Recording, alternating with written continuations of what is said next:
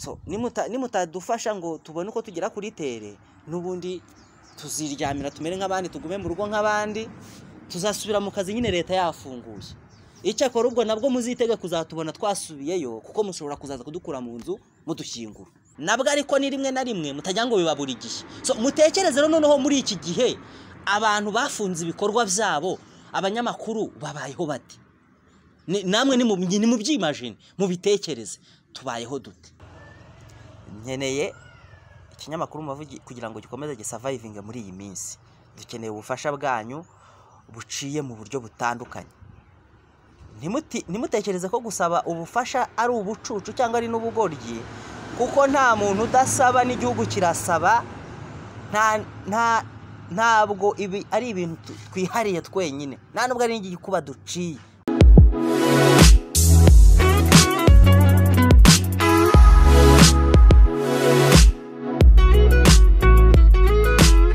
Nongeye kubaha ikaze inshuti bakunze mu mavu TV online. Nizere ko mumeze neza cyane nizere ko mukomeje kugira ibihe byiza cyane mwe mwese muri hirya no hino mudukurikira mukunda ibiganiro tubagezaho gatanu kuri gatanu muhora muri update mutegereje ko tubagezaho ibiganiro bitandukanye eh, nizere ko rero mufite ibihe byiza cyane. Ah, nshimire cyane abantu mwakoze subscribe hari abandi mukunda ibyo dukora ariko mutarakora subscribe. Turabizi neza ko muhari. Murahari. Ah, ariko ntago mwigize mukora subscribe mwayikora namwe kugira ngo ibiganiro oh, dukomeza kubagezaho mujye mukomeza kubibona. Ah, kuri iyi nshuro rero impamvu nyamukuru itumye nza gukora iki kiganiro nabyita uburyo bw'impuruza ntago nanze nanze nanze ku- kubahisha ukuri kundimo ukuri kundimo nta kundi ni uko dukeneye ko mudufasha. Nk'ikinyamakuru umubavu doti komu umubavu tivi onurayini dukeneye ubufasha bwanyu dukeneye kubona urukundo rwanyu dukeneye kubona afekisiyo yanyu muri ibi bihe bikomeye. Ubundi bajya ba- abanyarwanda bajya bakunda kuvuga ngo inshuti nziza uyibonera mu byago. Iyo wagize ibyago ni bwo ubona ko ufite abantu muri kumwe cyangwa se ntabo kugeza kuri ubu ngubu rero guverinoma y'u rwanda yafashe izindi ngamba. Ejo inama y'abaminisitiri yarateranye iyobowe na nyakubahwa perezida wa repubulika ifata ibyemezo bitandukanye eh, ndetse ijambo ryakunze kugaragara cyane ni uko hakomeza kubaho. Niryo jambo ryagiye rigaruka cyane. Ha- harakomeza kubaho. Harakomeza harakomeza harakomeza. Ni ukuvuga ngo ofete nta kintu bahagaritse. Turakomeza kuba mu mazu yacu turakomeza ku- kuba mu nzu nk'uko bisanzwe icyakora twebwe nk'abanyamakuru ntabwo badukumira pe. Muri ibi bihe baduhaye rugari eh, badusaba kwirinda no gukurikiza amabwiriza ya minisiteri y'ubuzima harimo gukaraba intoki cyane kugira isuku kwirinda gukorakora ibintu byose bibonetse ibyo ari byo byose. Ayo mabwiriza rero kubera yuko tuzi yuko kubyubahiriza biri mu nyungu zacu tuba twirinze kandi tukaba bituma tugera ku makuru twifuza turabyubahiriza kandi tukabikora neza. Amakuru rero turayakurikirana tukayashaka ntacyo byari bidutwaye ariko ndagira ngo mbabwire ngo turananiwe. Mm, turananiwe. Nimvuga ngo turananiwe mu byumve ndashaka kubabwira yuko ubwo kawunga nyine ntayo. Nkeneye ikinyamakuru mubavugi kugira ngo gikomeze gisavayivinge muri iyi minsi. Dukeneye ubufasha bwanyu buciye mu buryo butandukanye. Ntimutekereze ko gusaba ubufasha ari ubucucu cyangwa ari n'ubugoryi kuko nta muntu udasaba n'igihugu kirasaba nta nta ntabwo ibi ari ibintu tu- twihariye twenyine. Nta nubwo ari igikuba duciye kuba tuvugishije ukuri tukababwiza ukuri tukababwira ibiri turimo tukababwiza ukuri kugira ngo mudufashe abafite ubushobozi. Tuzi neza ko hari abantu bafite gusavayivinga imyaka itanu babaho bakora badakora barya. Abo barahari. Ariko twebwe ibi byumweru bibiri byongeyeho ni donc ntabwo byadukundira ko twaba tukiriho. N'umuriro waba washize ntabwo twaba tugifite ubushobozi bwo kugura undi. Nshimye ko ejo bundi hari igihe abantu bakwirakwije bati umuriro n'amazi ni ubuntu. Barabeshya ntibazababeshye. Icyakora wasake ikigo cy'igihugu gishinzwe isuku n'isukura no gukwirakwiza amazi wasake cyo ubwacyo ko icyakora kitazigera gifungira abantu muri ibi bihe. Ariko bazakora aba- abarereveri bazakomeza kuza kureba uko gahunda zihagaze uko amazi muri kuyakoresha. Niba mutari gusesagura bazakomeza kubikora. Ariko ntabwo bazabafungira. Icyakora nyuma bazaza kubishyura bazaza kutwishyuza. Ariko umuriro wo twemeranye neza ko iyo ushizemo ntabwo wajya kuzana ibintu by'imikino ubwire reg ngo nta muriro dufite nta ki nta gisobanuro wabona utanga. So tubuze umuriro rero ibikorwa byacu byo byaba bihagaze burundu. Ikinyamakuru mubavu kimaze imyaka itanu ubu twatangiye bibiri na cumi na kane ni imyaka itandatu. Igikora kuri youtube tumaze imyaka eh, twatangiye bibiri na cumi na karindwi. Imyaka itatu. Nta bufasha na bukeya na buke twigize tubona cyangwa se ngo tunabubasabe. Nta muntu wigeze aducishaho amafaranga ngo agiye gufasha abantu ngo tuyarye nk'uko abandi babigenza. Mwarabyumvishije ntabwo ari ikinyamakuru kimwe si bibiri si bitatu byagiye binyereza amafaranga y'abantu babyoherereje ngo biyashyirayo bo bigomba kuyashyira bikayarya. Ntabwo ntabwo byabaho twebwe. Ni ukuvuga ngo rero muri iyo myaka itanu icyo akora eh hari akantu nibutse nigeze kubona agasoko ka leta kamwe nako kari karimo nk'ibihumbi ijana. Ni narwo rwego rwo muri iki gihugu nemera ko rukora neza. Mu bigendanye n'amasoko mu zindi nzego barakora bakora neza nta kibazo. Ariko mu bijyanye no gutanga amasoko urwego nemeye ni rumwe. Rwonyine. Ru- rutajya rureba ngo ikinyamakuru ngiki ah, ariko narwo rushobora kuba muri iyi minsi rwarinjiriwe. So ariko ndarushimira sinduvuze nzaruvumba. Ariko urwo rubimenye abantu bazi ko twakoranye bakagira ikintu baduha batageze icyo bareberaho. Ntabwo kari karengeje ibihumbi ijana ako gasoko. Ubwo se kwashize imyaka nk'ine hafi itatu twaba tugisavayivinga se donc tubayeho ku buryo umwanzi ashaka. Ariko nimudufashe. Mwese ko ari mwebwe dukorera. Ko ari mwebwe du- muba mukeneye ko amakuru tuyabagezaho. Nimudufashe nyine tuyashake tuyabagezeho nta kindi ndi kubasaba ni inkunga iyo ari yo yose. Igendanye n'ikintu cyatuma umuntu ashyira ikintu mu nda. Niba abanyamakuru mu rwanda rwose abadakorera ibigo namwe muzi babayeho nabi natwe turimo. Ntabwo bafite uwo babwira ntibafite uwo baganyira ntibafite uwo bagira gute babayeho nabi. Natwe turimo. None mwebwe mu- mukunda ibyo dukora. Rimwe na rimwe mukanatwoshya muri komenti muti turabikunda ibyo dukora ibyo mukora. Mukatwoshya muti mukatwoshya burya iyo muri kuduha ziriya komenti rimwe na rimwe muba muri no kutwoshya kuko tuba turushaho kwishyira mu kaga. Gatuma n'ibyo twa- twakagize twakabonye tubibura. Ariko noneho muri ibi bihe byo birakabije biranakaze. Ubundi abanyamakuru ukuntu twari tubayeho muri iki gihugu binasobanuka abantu bikorera ku giti cyabo uburyo tubayeho. Iyo habaye nk'inama hari inama iba yagenewe abanyamakuru ka giti nubwo bagakuyeho muri leta ariko hari abasigaye babyumva njya nshimira nka ribu cyangwa polisi bajya bakaduha. Eh, ariko ubu ngubu ubu se igihe gishize namwe ribu nimu- nimutekereze igihe twahuye tukishimana tukarya inkoko tukagira gute? Mukanaduha n'agatike. Ntuze karashize. Abantu rero mukurikira ibiganiro dukora mukaba mushaka ko dukomeza kubikora neza nta ki- kibazo. Nimudufashe. Reka mbabwire nimero yanjye ya telefone. Ni zeru karindwi umunani kane umunani umunani kabiri rimwe rimwe gatatu. Ndayisubiramo.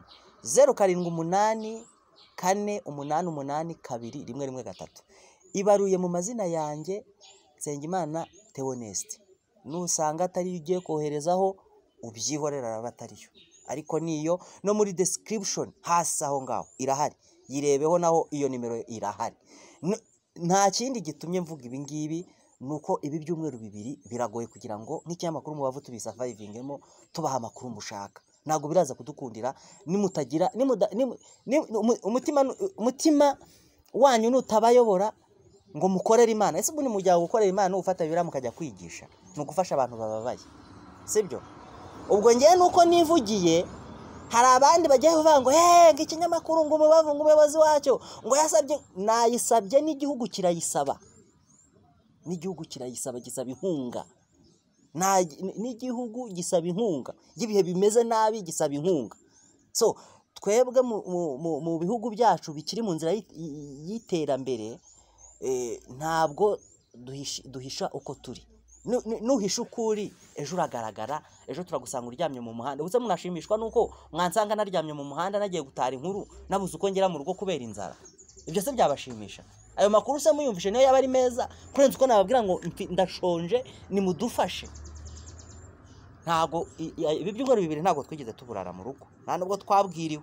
Twarariye saa sita na nimugoroba. Ariko ibindi byumweru bibiri biragoye. Ibi bintu ndi kubivuga ndi siriyasi ntabwo ari ibintu ni ibintu narebye mbona nta yindi nta wundi mwanzuro. Ndavuga ariko ko mfite abantu. Dusanzwe banyereka ko badukunda. Muri komenti rwose turabibona pe. Nubwo tubona ko hari n'abatwanga ariko abatwanga turabakunda ahubwo cyane.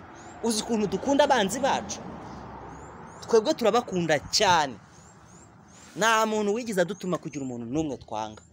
Twese tubasavinga kimwe.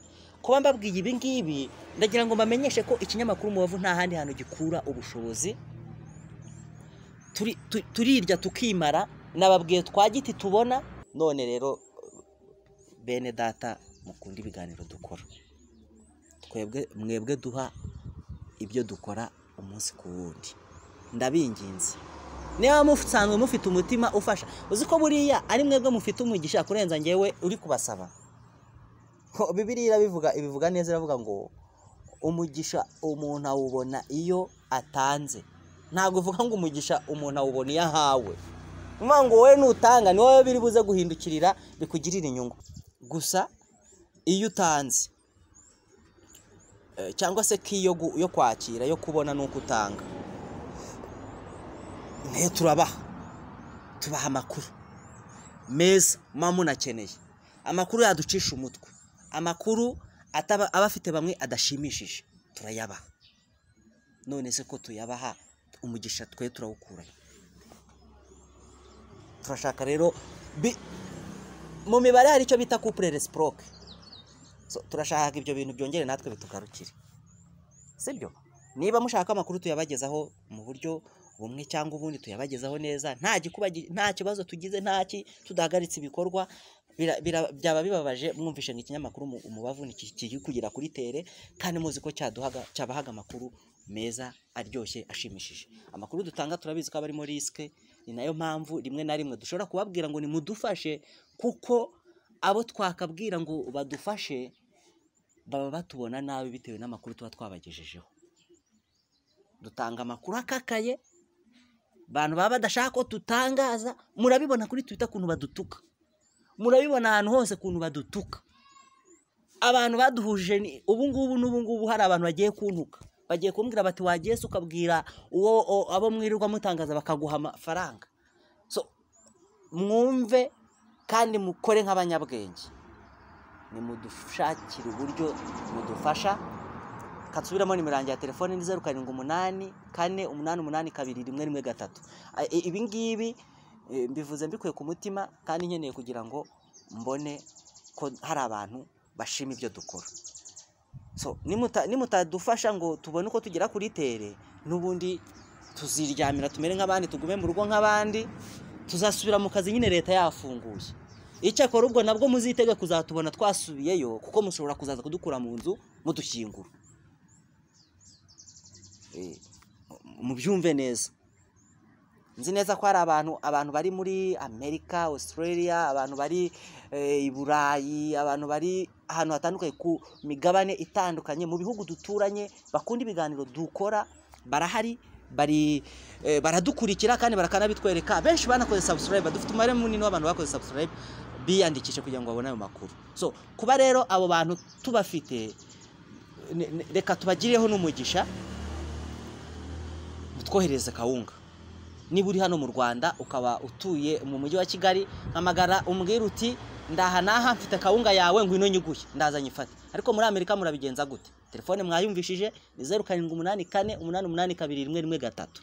Iyo telefone nimuyoherezeho amafaranga nyaguremo kawunga nyakuremo itike nya- nya- nyashakemo ibitunga umuryango nyahembemo abakozi nkoresha hanyuma tubahe amakuru mushaka mukeneye. Ibindi imana izashaka igitambo muri mwebwe. Murakoze cyane. Reka mukomeze mugire ibihe byiza ah, mukomeze mukurikire ibiganiro twabagejejeho. N'iki ngiki mugikurikire cyane munagisharinge mugishyira aha. Niba unadukunda ukaba ntacyo ufite. Iki kiganiro kigeze ku muntu ushobora kugira ikintu yaba afite wenda ashobora kugira umutima cyangwa se imana ishobora kumukora ku mutima akadufasha. Icyo dushaka. Niyo mpamvu y'iki kiganiro nta yindi. Ntabwo ari amakuru y'akataraboneka nari mbazaniye ni inkunga nari nje kubasaba. Kandi nizere ko muri bubyakire neza eh, kandi niba nta n'icyo ufite gusa ukaba ufite mega wagiye kuri yutube ukayibona iyi gisharingi yihereza umuntu wumva wagira ikintu akora. Gisharinga ahantu hari abantu uzi nawe utazi. Ntawe uzi ahantu umugisha w'umuntu uri. Uri mu bantu. Abantu rero mufite inkunga yanjye mwari mwarabuze ukuntu muyima mbabwiye uburyo muyimpamo. Nimuyinyoherereze nimuyanyohereze amafaranga nyabone hanyuma ibikorwa bikomeze. Imana iduhe umugisha kandi ibahe umugisha kuri mwe mwese mugiye gukora iki gikorwa cyiza cy'urukundo. Nababwiye ko gutanga bizana umugisha kuruta guhabwa. Mubyiz- mubyizere mubizirikane mubyiteho rwose. Natwe rero turabaha. Iyo uriya turi kubaha amakuru tuba twashyizemo amafaranga. Tuba twakoze ku mufuka tugatanga kugira ngo tubashe kubona ya makuru. Iyo turi gukora ubuvugizi ngo abantu bagire ikintu babona na- na- natwe ariko ubundi ku- kubera icyo abanyamakuru twavugira abantu twe kwivugira bikatunanira. Njyewe ni muri uwo mujya ndimo niyo gahunda ndimo ni kubera iki dusabira abantu bagafashwa bakava mu bwigunge mu bukene bagahindurirwa ubuzima twebwe ubwacu ntibuhinduke. Ndagira ngo mbatangarize mbamenyeshe ko ubu ngubu abanyamakuru mu rwanda abikorera ku giti cyabo babayeho nabi. Hari abo bari ba- ba- twari dutunzwe nuko tubona ibihumbi icumi bya giti babyita giti sinzi aho byaturutse ngo ahantu hirya mu misozi batanze akantu ngo babyita giti. Ubu no muri leta barayiciye. Rero nimwe rwego rwari inzego ebyiri zari zisigaye zikigerageza kuduha ka giti. N'abandi bikora ku giti cyabo bayitangaga bakaba bakoresheje inama bakayitanga pe. Ibyo bihumbi icumi ni uko abanyamakuru bo mu rwanda babayeho bamwe na bamwe. Abenshi ntabwo bakorera umushahara abenshi ntabwo ni uko babayeho nyine. Baragenda aho ngaho babaha ibihumbi icumi wenda nko mu cyumweru yabona nk'ahantu hatatu yabona ahantu hatatu akabagiza amahirwe akabona ibihumbi mirongo itatu cyangwa se baba bagiye batanga bitanu cumi na bitanu ubwo ku kwezi nawe uhita ubara ukumva umushahara umunyamakuru akorera. Nabwo ariko ni rimwe na rimwe mutagira ngo biba buri gihe. So mutekereze noneho muri iki gihe abantu bafunze ibikorwa byabo abanyamakuru babayeho bate? Namwe ni mu- ni mubyimajine mubitekereze. Tubayeho dute? Tubayeho dute? Abandi barakaniye ngo ntabwo bashaka ngo ayo mafaranga ngo ni ruswa. Ruswa se gute? Ubundi ikintu kiba ruswa ku bantu batacyemeranyije ariko abantu bemeranyije ikintu nta ruswa ibirimo. Abandi barakaniye ngo nta kintu badupangira ngo n'ibyo bihumbi icumi babikuraho ngo ni ruswa turapowa nyine turaceceka. Abandi bantu bajya bagerageza gufasha abanyamakuru. Nabo ariko bisa nk'aho biri mu gatsiko kamwe. Ni inama y'igihugu y'itangazamakuru. Mperuka amahugurwa yanyu. Muheruka guha umuntu wo mu mubavu amahugurwa. Mu mwaka w'ibihumbi bibiri na cumi na karindwi mubikontorore neza mubirebe hashize imyaka ingahe mudashobora gutwara umunyamakuru w'umubavu mu mahugurwa? Ngo ni uko ngo baba batangaje inkuru ngo zitabashimishije ubundi muzi neza ko inkuru zishobora kuza zibashimishije. Ubundi utekereza ko polisi niza kugufata iwawe izaza kugutwara wishimye. Uzagenda se ubabaye? Ntabwo se bahembwa na leta ntabwo babayeho babayeho abapolisi hari icyo mu- mu- mu- mubagiriza. Si akazi kabo. Natwe akazi kacu k'itangazamakuru ni uwo- murongo kadushyiramo. Ni uwo gukorera abaturage kandi mwebwe muri abaturage ariko mu- mu- mu- muri abaturage batunzwe n'igihugu igihugu kirabahemba kibaha imishahara. Ngani mumbwire mu myaka itatu ishize mumbwire umunyamakuru w'umubavu w'ikinyamakuru w'umubavu mwatwaye mu mahugurwa. Ni- mwe mwenyine musigaye mutanga amaf- amafaranga ariko namwe ubwo se ubundi mutekereza nta ikindi se muba mushaka ndagira ngo abadukurikira mu byumve neza hari abantu baba badashaka ibi ngibi tutabikora. Barahari kandi baca inzira nyinshi. Inzira ya mbere bakoresha ni igerekeranye n'ubukungu. Kudutesha agaciro mu buryo bumwe cyangwa ubundi. Batwima ibyo bintu tuba tugenewe batwima ayo mahirwe kugira ngo natwe tugire ikintu dukuramo ariko ntibabikora. Baba bababaye ngo ngo dutangaze ibintu. Kubera iki se mutanaduhugura basi ngo munarebe ko twajya mu murongo niba mubona nta murongo turimo? Kuki mutanaduhugura basi ngo muduhe n'ayo mahugurwa? Bivuze ngo ibyo dukora nyine ni ibyacu. Ntabwo dukora ibyo byacu ubu se ibyo mwashyizeho bya onurayini twapurayinze kangahe? Mufata abandi twe mukatureka. Kuki se mutureka? Mwarangiza mukajya gufata n'abatapurayinze ibyo se mukeka ko tuba tutabizi? Biba bitubabaza. Niyo mpamvu tuzaba tubabwira ntacyo twitayeho nimushake muzabijyane imana izadutunga ikoresheje n'aba bantu badukurikira. So kugira ngo rero tudaha urwaho satana akatwinjirira cyane agakomeza guca mu bantu bamwe cyangwa abandi bakatubuza umugisha wacu ni mumuhimishe kudufasha kugira ngo dukomeze tubeho. Nimutabikora muraba mwifatanyije n'abo ngabo nyine batizera. Badakoresha ukuri mu byo bakora. Muraba mwifatanyije nabo. Ariko niba mugiye kudufasha tugakomeza tugasavayivinga tukabaho abantu bagakomeza kwibaza ngo tubayeho dute? Nimukora icyo kintu abantu bakomeza batekereza ku buryo tubayeho bibacange. Ndabakunda cyane mukomeze mukore sabusoremu mukwirakwiza iki kiganiro. Niba nta mafaranga ufite yo kuduha muri aka kanya kuko niyo niyo objegitifu y'iki kiganiro niyo kubasaba inkunga.